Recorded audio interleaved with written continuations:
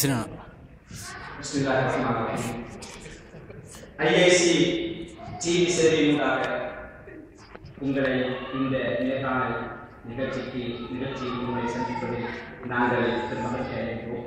எங்களது இந்த அழைப்பை ஏற்று இங்கு வருகின்றதற்கு ஐஐசி டிவி சார்பாக மனமார்ந்த அசினா இந்த நேர்காணலை ஆரம்பிப்பதற்கு முன்பு எங்களது நேயர்களுக்கு உங்களை பற்றிய ஒரு சிறு விளக்கத்தை வழங்கலாம் என நினைக்கிறேன்.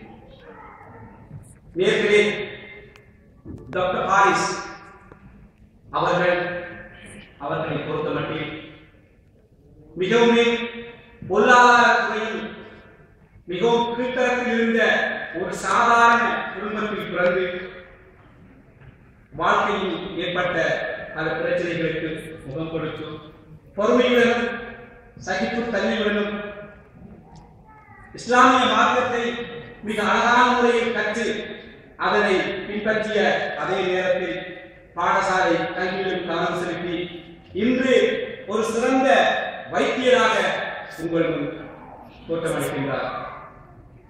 இத்தகைய மாணவ இந்த காலத்தில் இருக்கின்ற மாணவ மாணவிகளுக்கு ஒரு உதாரண புருஷராக அவர் இன்று காட்சி அளிக்கின்றார்.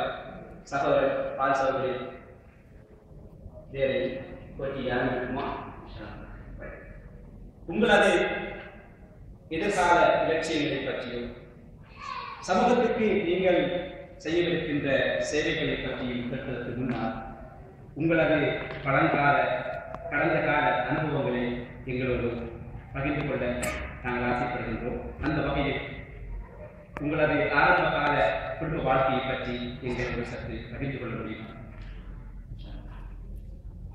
உண்மையில் ஒவ்வொரு மனிதனுக்கும் அதனுடைய முதல் பள்ளிக்கூடம் அவனுடைய தாய்மொழியும் தந்தையும் வழியாக வழிகாட்டுகின்றன அல்ஹம்துலில்லாஹ் என்னை பொறுத்தவரை அந்த முதல் பள்ளிக்கூடம் ஒரு இரையச்சம் ஒரு சூழலாக இருந்தது.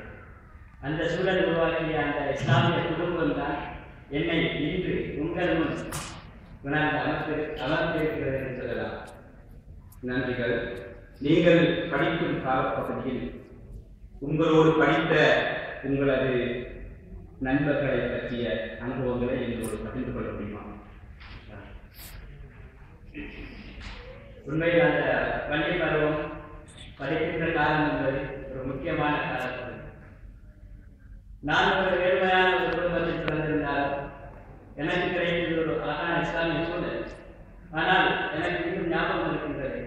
சிறிய காலத்திலிருந்து கிடைத்த இரண்டு நகர்கள் அதில் ஒருவருடைய குடும்ப சூழல் ஏதோ பிறந்தோம் என்று. அது ஒரு லட்சியமே இல்லாத ஒரு வாழ்க்கை. அப்படியான வாழ்க்கையில் வாழ்ந்தார். அப்படியான குடும்ப சூழலில் வளர்க்கப்பட்டார் என்று. பெரிய ஒரு போதை வசதி. போதை வசதிகளுக்கு அடிமையாக இன்று ஒரு பண்பானற்ற நிலையில் அவரை அழைத்துக் கொள்கின்ற ஒரு நிலையில் அவர் இருக்கின்றார் அதே போன்று இன்னொரு. அவருடைய குடும்ப சூழல் எப்படி என்றால் உலகத்தில் மாத்திரம்தான் இந்த உலகத்தில் தன்னை வாழ வைக்கின்ற ஒரு நோக்கோடு இருந்த ஒரு குடும்ப சூழலில் வளர்க்கப்பட்டிருந்தால் இன்று அவர் ஹலால் தகவல் தெரியாது.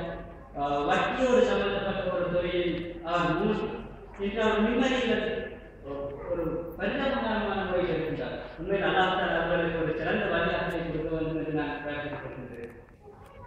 மிக அழகாக சொன்னீர்கள்.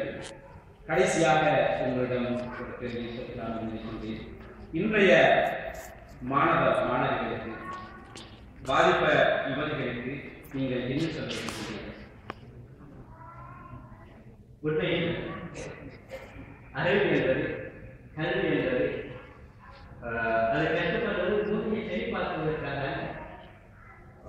மூளையை தெளிவுள்ளதாக ஆக்க வேண்டும். அந்த அறிவு மூளையை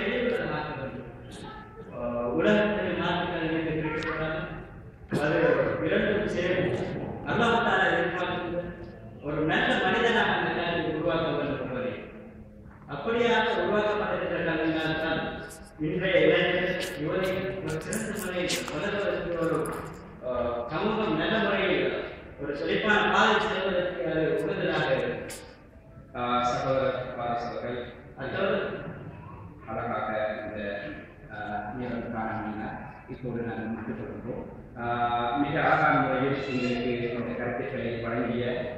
உங்களுக்கு ஐஐசி சார்பாக நான்